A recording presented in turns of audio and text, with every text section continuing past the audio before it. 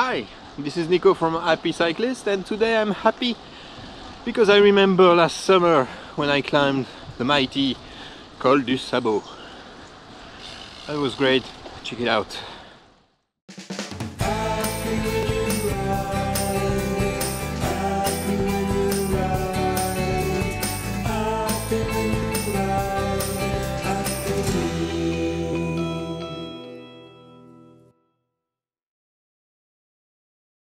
Col du Sabot is located in the French Alps. It's not the most famous climb, of course, because it's not a pass, it's a dead end and there's no ski station on top. If you follow the tiny road, you will find the village of Vaujany, then Lac du Verney, and further down in the valley, Bourg d'Oisans. From Bourg d'Oisans, you can climb up Alpe d'Huez. On the other side of Col du Sabot, the dam of Lac Grand Maison, then Col du Glandon and Croix de Fer. It's basically cycling heaven or hell, depending on what you like. Col du Sabot is averaging 9% for 14 kilometers. When you reach the second half, the wind factor becomes very important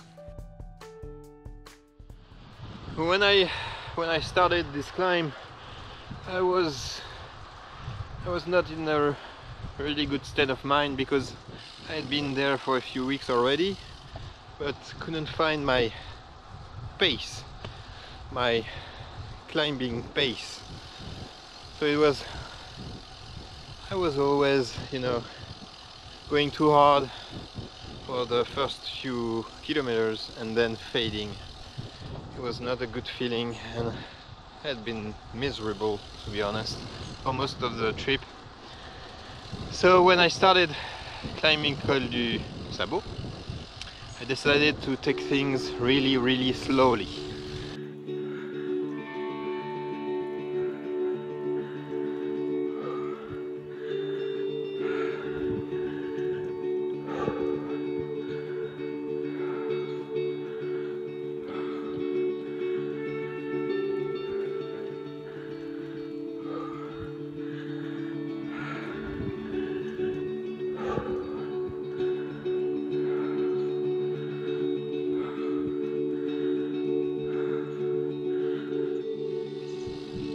It's only a few kilometers after Vaujany when you reach the, the wild that it gets very spectacular.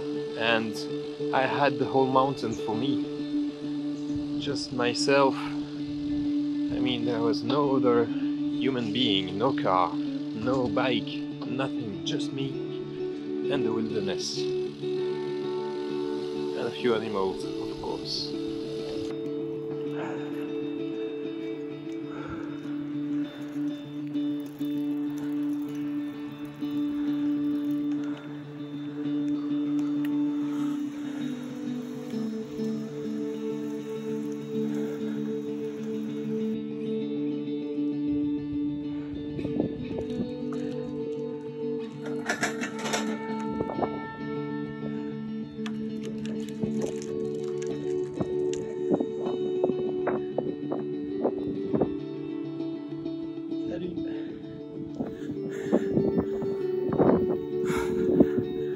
Je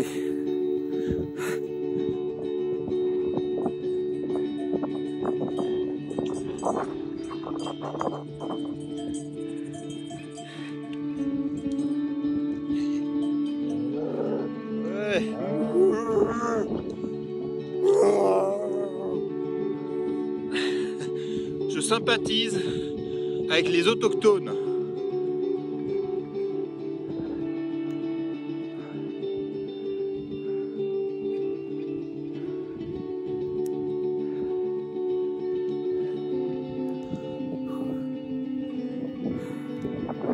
Qu'est-ce que c'est beau Putain So that day I had brought a new camera with me and I had barely tested it so far so I decided I would just put it on my helmet and shoot the descent.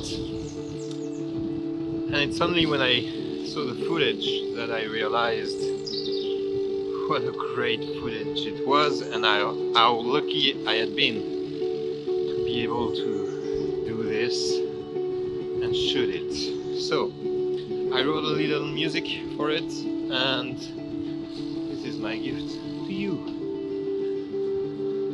That was Nico for Happier Cyclist signing off. Have a good ride.